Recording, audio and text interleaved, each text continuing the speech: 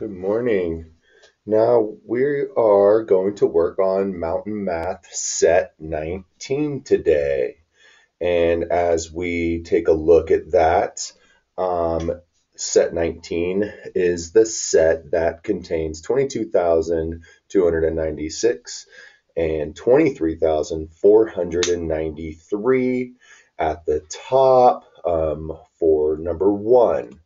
Um, another way that I know that is that I can go to Mr. Tillisch's fourth grade classroom, go to the classwork section, and looking at um, not Mountain Math, but looking at my to-do list or weekly work menu, um, I can go on ahead and I can take a look at what Mountain Math we're working on this week.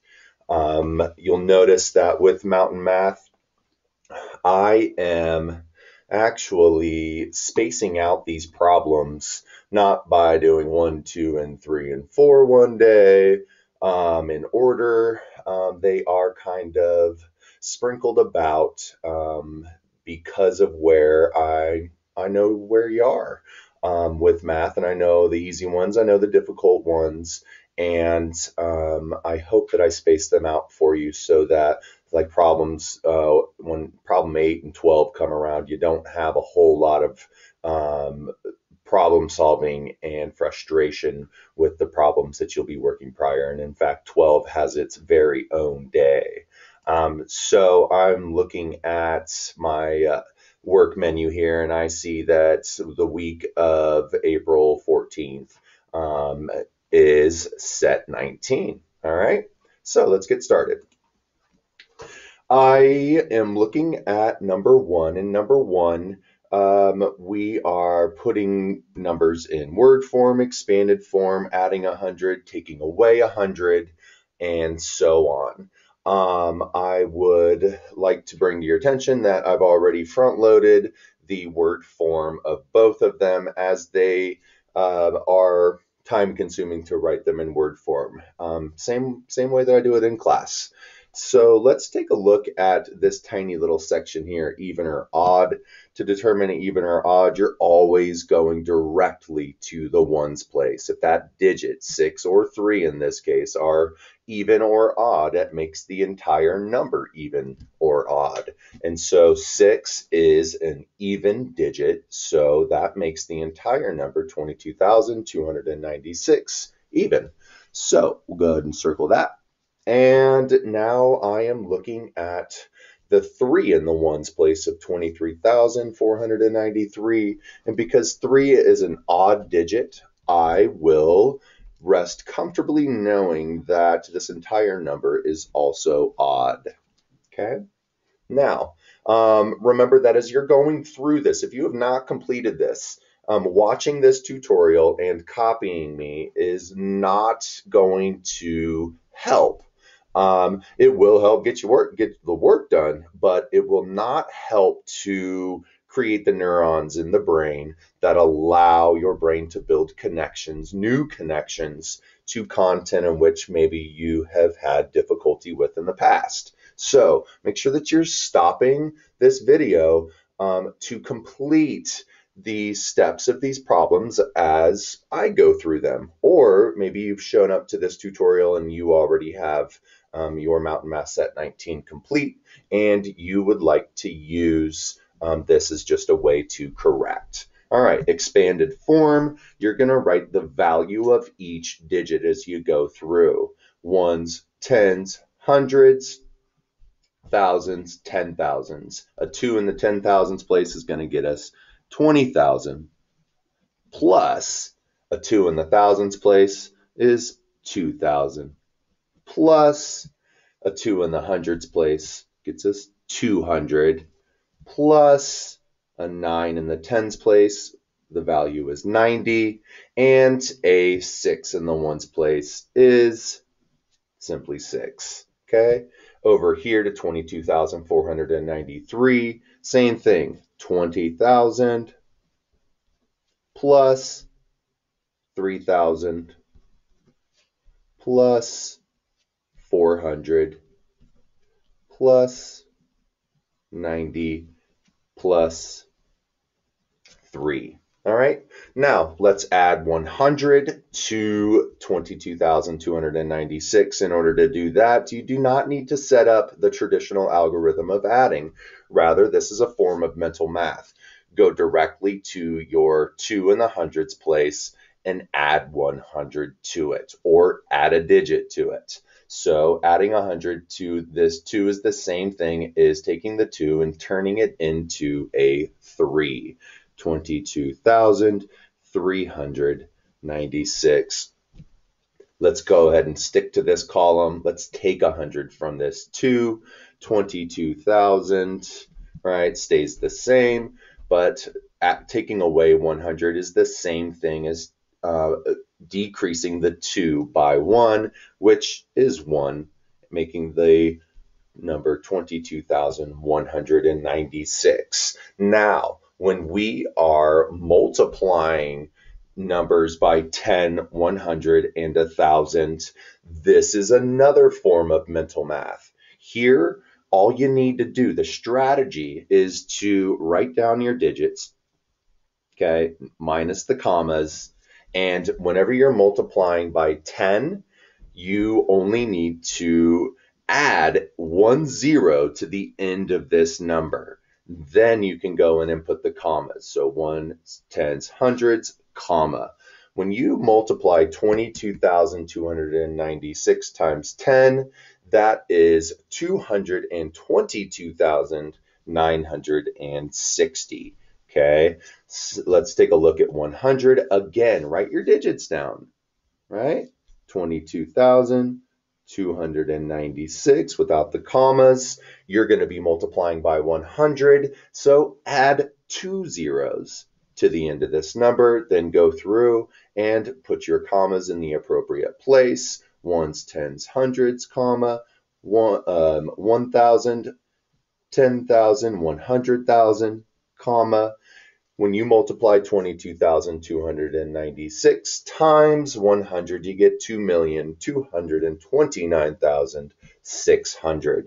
Now let's take a look at 1,000. Again, write down your number, your original number, 22,296 minus the commas.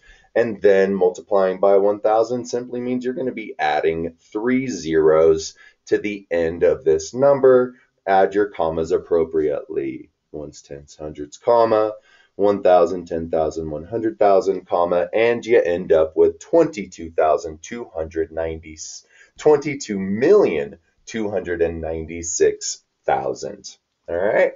So um, that is the left-hand column there. Now let's go over to 23,493. Same thing, you can almost prep yourself by writing down your number, in all three spaces. Five spaces, I should say. Happy Thursday. And as I do this, I'm thinking about the mental math involved. How many zeros am I going to be taking away?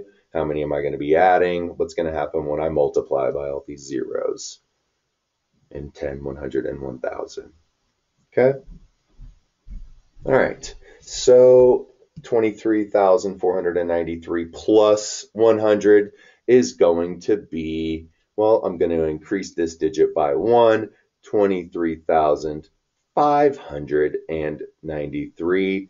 Taking away 100, I am going to reduce or decrease this 4 by 1. I am going to end up with 23,393. Okay. Now, when we multiply by 10, remember, you only add one zero, then place your commas, ones, tens, hundreds, comma, 234,930. When you multiply by 100, add two zeros, because there's two zeros in 100, 2,349,300. And then when you multiply by 1,000, you can simply add the three zeros, add your commas in the appropriate place 23,493,000. Um, number one's a real workout, okay? Um, but what a great review of number sense um, number one contains. Okay. Now let's compare these numbers. Um, when comparing these numbers, you want to figure out which place value position are you going to use to compare these numbers. Okay, so let's get the numbers written down first. And in order to determine which number is largest, start with the largest place value position. And in this case, that's the 10,000s place. So you can take the twos, you have two twos in the 10,000s place. You cannot use the 10,000s place to compare these numbers. They are the same digit, makes them equal so far. Let's move over one. We have a two and we have a three sitting in the 1000s place. Now, we can compare these two numbers using the ones thousands place because it's the first place value position that you come to where there is a different digit. Because this 3 is larger than this 2, it makes 22,296 less than 23,493.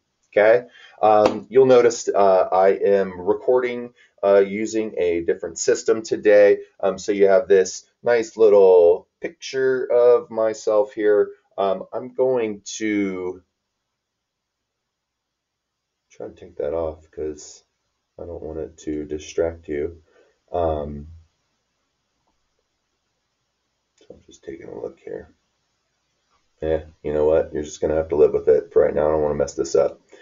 Um, so here let's take a look at the last portion of number one. How many ones are in the tens place? Well, what do you got in the tens place? You got a nine. It's not the nine you're looking at, you're looking at the value of that nine, right? So the value of that nine is 90. So how many ones does it take?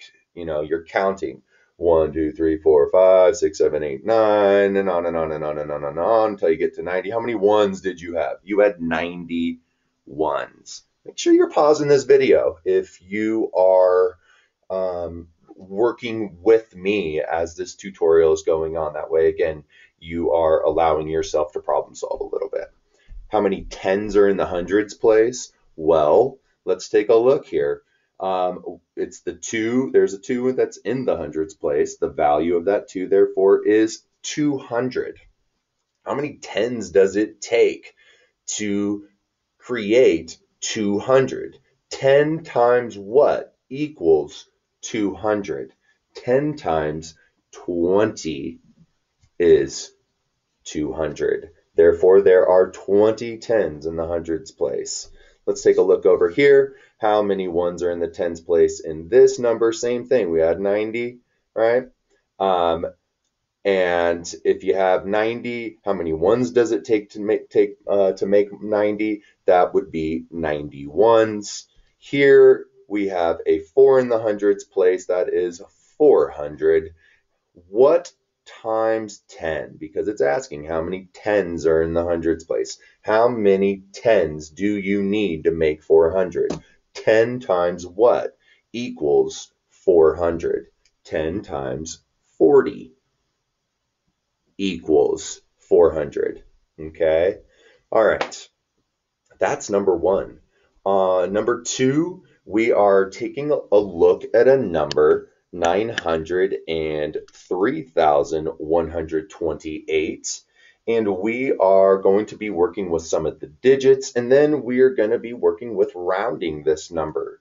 So what is the value of the number 8? It should be, what is the value of the digit 8 that makes up 903,128?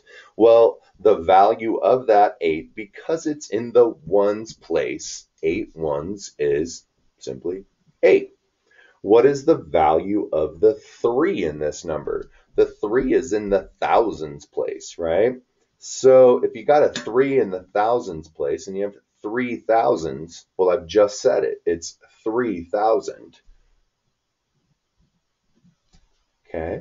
All right.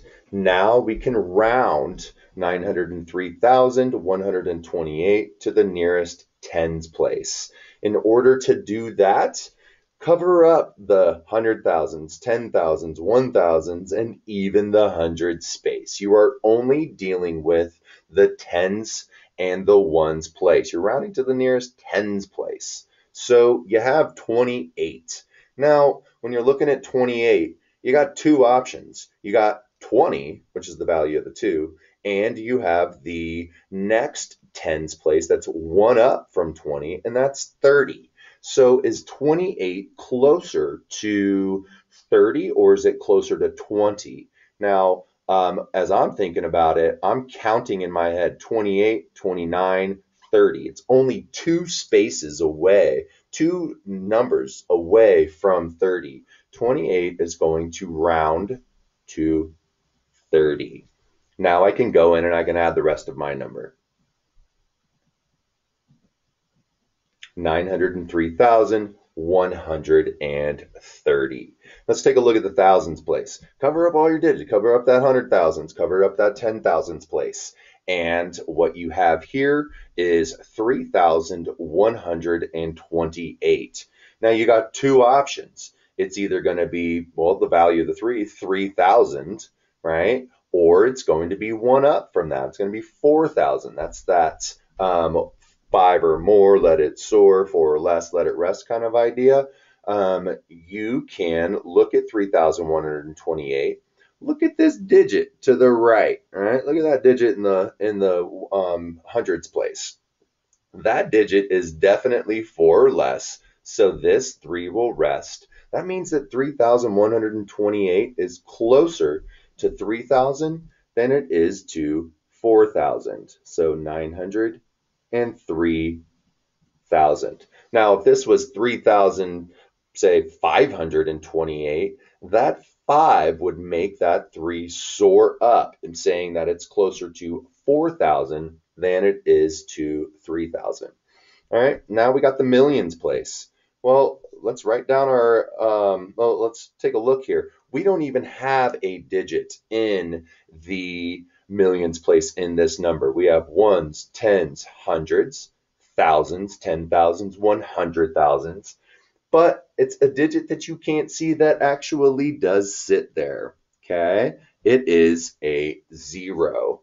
Zero in the millions place at this point. But look to the digit to the right. I mean, we got two options. It's either going to stay a zero or it's going to boost up to one or soar up to one, meaning soar up to 1 million. And so I'm looking at this nine. I'm looking to, to, the digit to the right that I'm rounding, and that nine is definitely five or more. It's, it's saying that 903,128 is closer to 1 million than it is to zero. So, what to the millions place, we're going to round this number to 1 million. There you go. That's number three. Okay. Now, Let's look at prime and composite numbers. Prime numbers are numbers that have only as a factor one and itself. Composite numbers have more factors than just one and itself. It could just be one more factor than one in itself, but that still makes the digit or number composite. In this case, we're going to be working with the number three. Always start with creating um, not a factor tree in this case. We're just listing the factor pairs. Okay. So parents, if you're out there making factor trees with your kids, hey, that's fantastic for prime factorization.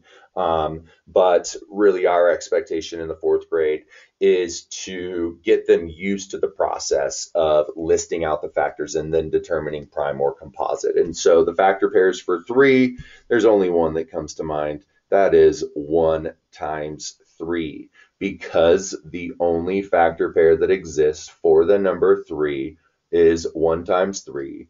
Three is a prime number. All right, that is one, two, and three. Let's go ahead and zoom out here. We're going to turn on over to four. Four is going to be the greatest common factor. Now, we can use um, the greatest common factor for making equivalent fractions, finding equivalent fractions, Um, the greatest common factor is a strategy that helps us to put fractions into simplest form. Okay, so you could pretend that this is actually a fraction, 56 70 seconds, we would say. Um, but the first thing that we want to do when we are trying to find the greatest common factors, start by listing the factor pairs. Okay, so the factor pairs for 56, we have 1 times 56. Um, it's an even number, so I do know that 2 is definitely a factor um, because you can take 56 and divide it by 2 and divide it evenly. So 2 times something is going to get me 56. And if I sit here and I think about it, I know that 2 times 25 is 50. 2 times 26 is going to be 52. Um, 2 times 27 is going to be 54. 2 times 28 is going to be my 56. You could also look at that as 2 times 20 is 40 plus 2 times 8, which is 16, would also give me 56. Um, I am going to go to my go-to factor, which is um, uh, the 8 times 7, sorry, is 56. Um, and now I'm starting to think, hmm, what else equals 56? And one of the strategies that we can do is you can talk to yourself a little bit and say, all right, I know that there's some tricky factors out there. We got three, right? We've got four. Um, five is not going to be a factor of 56 because 56 has a six in the ones place. No number that has a six in the ones place will be divisible evenly by um, five. So um, let's start with three and four. We already figured out seven and eight, so I'm feeling good about um, where I am with my factors. I am going to divide three by 56. Now I'm looking at 56 divided by 3. I can do 5 divided by 3. It's going to be a remainder, but 5 divided by 3 is going to be 1. 3 times 1 is 3. 5 minus 3 is 2. Bring down the 6. Something, 6, uh, well, only 8. That's 24. That doesn't work. There will be a remainder. It doesn't divide evenly. Let's try 4. 56 divided by 4. 5 goes into 4 one time. 4 times 1 is 4. Aha, I found one. 5 minus 4 is 1. Bring down my 6. 16 divided by 4 is 4. That divides evenly, meaning that a factor pair for 56 is 4 times 14. We can add that in. Okay. Alrighty. Um, so as I am looking at this list here, I'm asking myself, do I have any other numbers that may or may not be a factor of 56? Um, and I am going to rest easy here and um, be confident that I have what I need to come up with the greatest common factor, um, or at least start finding the greatest common factor of 56 and 72. So I'm going to list these out. One, two, we found out three wasn't one, but four is, and five isn't, six isn't, seven, eight, 14, 28, and 56. So 1 times 56, 2 times 28, 4 times 14, and 7 times 8. Let's do the same thing for 72. Again, if you're following along with this and you are um, completing mountain math with me, make sure that you're pausing this video before you are doing it on, um, before you are proceeding with the tutorial. All right, so 72, I have 1 times 72, right? it's an even number, so I know 2 times something is also going to equal 72. Let's start with something that I know. Um, well, 2 times 35, because 35 plus 35 is going to be 70. So if 2 times 35 is 70, 2 times 36 is going to get me to that 72. All right, so now let's start thinking about um, the uh, possibility that three might be a factor here because I don't know. These aren't known facts to me. Three times 26 is not a factor that I'm comfortable with um, knowing in my daily life. And so I need to go in and figure out, or three times anything um, for that matter, that's beyond 12. We're not practicing. So let's use long division. Does it divide evenly? 72 divided by 3 goes in 2, gets me my 6. 7 minus 6 is 1. And bring down my 2. 3, 12 divided by 3 is 4. 3 times 4 is 12. It does go evenly. 3 times 24 is a factor pair of 72. Right? Okay. So now let's take a look at 4. 4 times something going to get me 72? Well, in order to find that out, let's do some long division. 72 divided by 4, 7 and 4, that's 1. 7 minus 4 is 3. Bring down my 2. Wow. 32 divided by 4, that goes evenly. 32 divided by 4 is 8. Break this up for us. And 8 times 4 is, or 4 times 8 is 32. Right? So 4 times 18 is also a factor pair of 72. Um, let's see. We've got another one. Five isn't going to be maybe six. Let's take a look. In fact, I know six is a factor pair of 72 because five times 12 is 60, right? And then um, 6 times 12 is going to be 12 more than 60, and that puts me right at 72. So I can go ahead and just plug that one in. 6 times 12 is 72. Um, maybe 7. Ah, how about a, a known fact out there? 9 times 8 is going to be our 72. And I think we have wrapped it up. That was a big one. Let's go ahead and list these. One,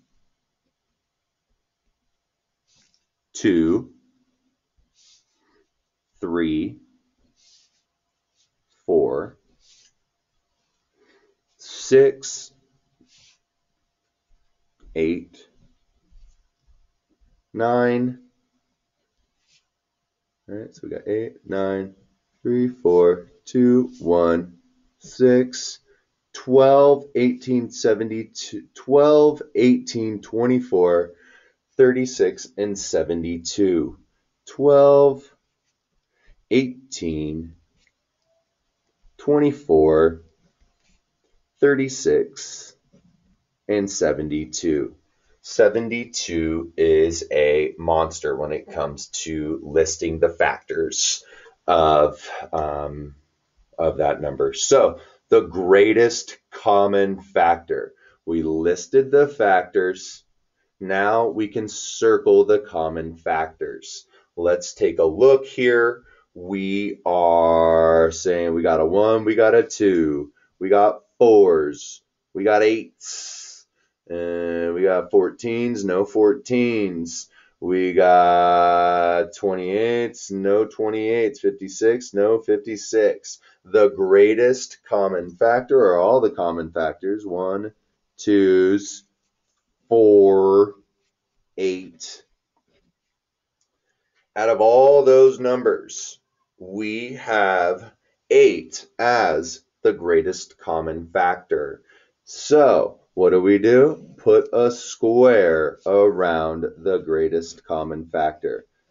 if you wanted to take this fraction 56 70 seconds and put it into simplest form, you would simply multiply 56 divided by 8 and 72 divided by 8. You would end up with 7 ninths. That fraction is in simplest form. So how many common factors did we have? One, two, three, four common factors. There we go. We're done.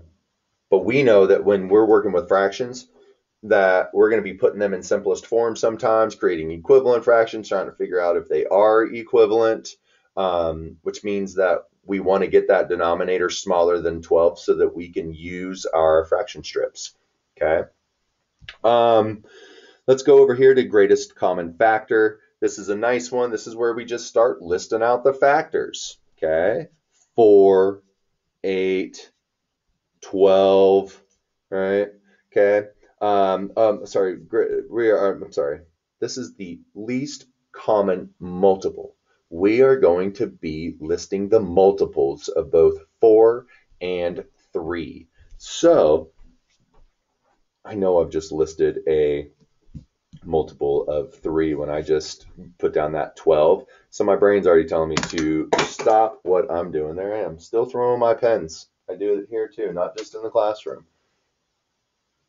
That's why I always got a couple spare G2s laying around, Pilot G2s, favorite pen of all time. So I'm going to start listing these uh, multiples of 3, 3, 6, 9, and 12. And there is that least common multiple between 4 and 3, which is 12. And I'm pretty sure I'm supposed to be, oh, it says least, at least 8 multiples. Sorry, I don't want to cheat. 4, 8, 12, 16, 20, 24. When I get to 32, I know I've listed 8 because 8 times 4 is 32. When I get to 24 here, I know I'm at 8 multiples because 8 times 3 is 24. 12, 15, 18, 21, and 24. Still, my least common multiple is 12. Now I'm going to put a star around this least common multiple. Brutal.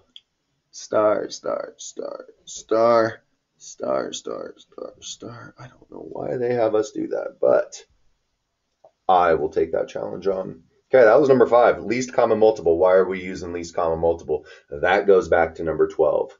All right.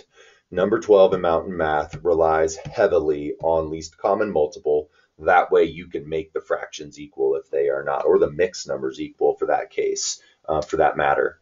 Um, you want to have the denominators be the same. The least common multiple is what you use to make the denominators the same.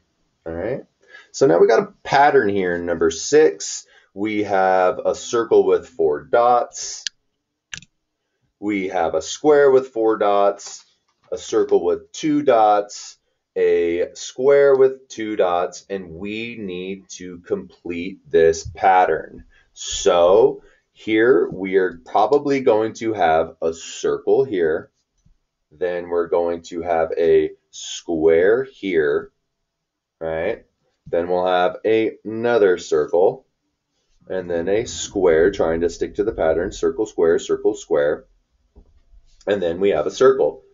Now I'm noticing that in my first set, I have four dots, four dots, two dots, two dots. I am going to predict that this circle will have one dot, that square will have one dot, and then I am going to say, uh-uh, that is not the case. That is not the pattern. All right. I need to, it is the pattern actually, because four, right? Half of four is two. Two, half of two is one. Then what we can do here is take a look at this circle and square. Well, if we are going to be listing half of two, it could be like half of a dot. Um, but in this case, we are going to assume that there are no more dots in the circle or squares as we go through the pattern. All right, that's the best explanation that I have for you on that one right now. Um, what is the pattern rule? Um, we are decreasing dots by half. Okay, what are the features of this pattern? We're talking about shapes, the features, okay? And we have the 10th and the 15th numbers and shapes in this pattern. Um, I'm going to get back to you on that one. All right, let's move on to number seven. Number seven is a sort of a word problem that um, is, let's see here, we're going to go down to Mountain Math. We're going to find set 19 underneath virtual learning math. And we can look here at number eight Ben and Cannon, lo, um, sorry, sorry, sorry, sorry, not number eight. We're looking at number seven. 27 is how many times as many as 9? 27 is how many times, right, as 9? 27 is 3 times as many as 9. Okay, showing an array, that would be nine rows of three, nine groups of three. And as you proceed, what am I at? Five, six, seven, eight, nine. I have created an array. Three, seemingly equal groups of nine seemingly equal groups of three, or you could rotate it. Let me flash back to the camera here. 27 is three times as many as nine. And then I'm showing my problem using an array. That is nine groups of three. One group of three, two, three, four, five, six, seven, eight, nine groups of three. Okay, alrighty. Let's cruise on over to number eight.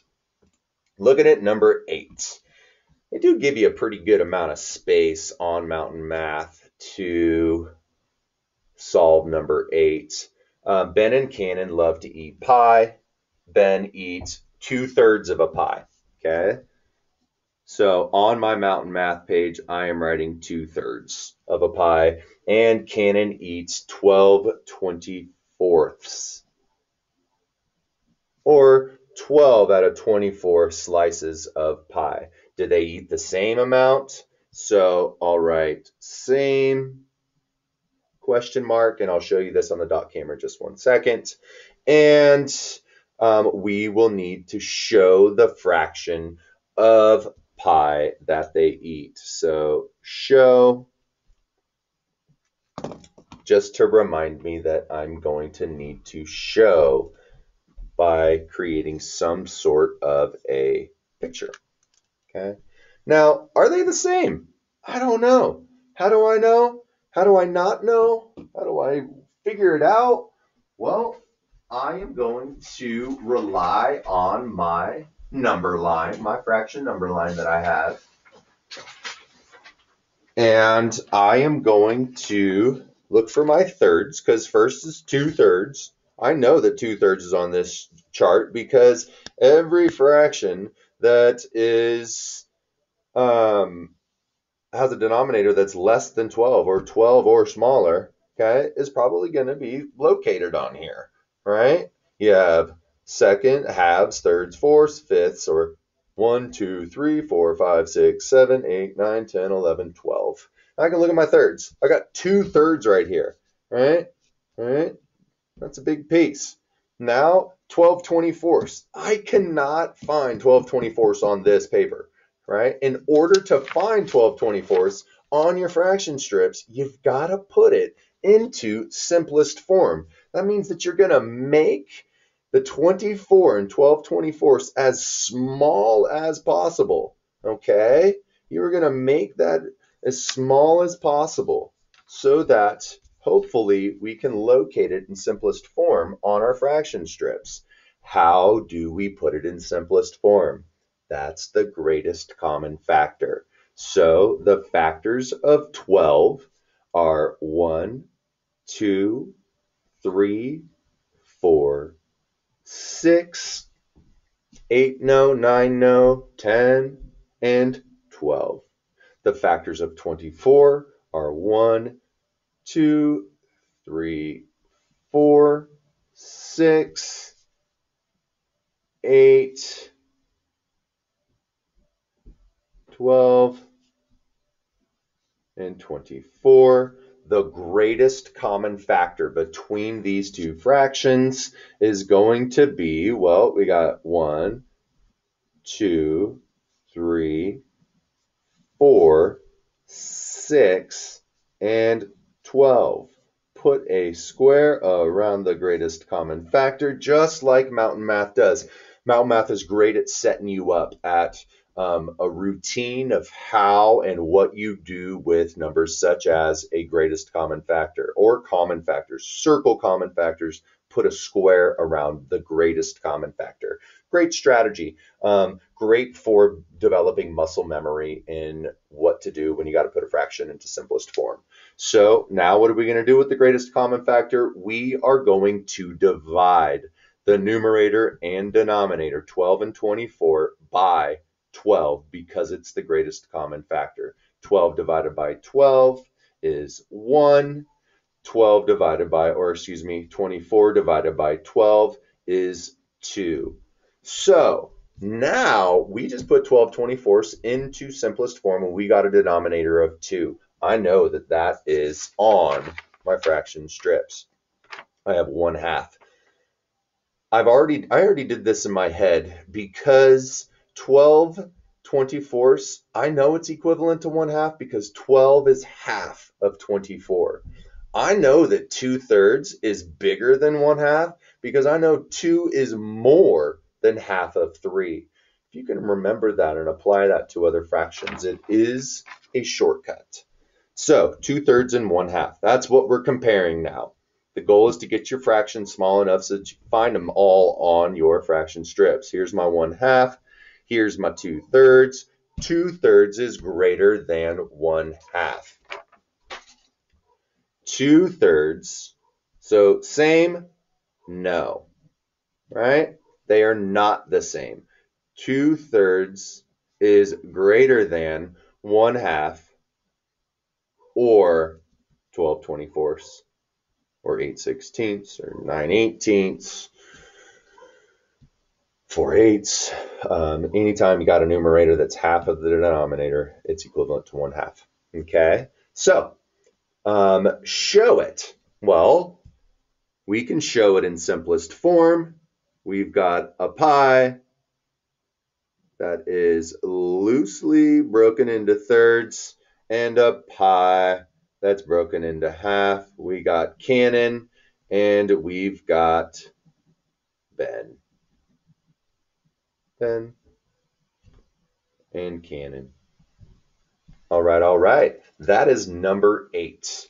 Um, so for the rest of the problems, 9, 10, 11, and 12, I will do the final mountain math review of that tomorrow. All right, guys, I hope that this new version of the video works out well for you. Let me know if you have any advice.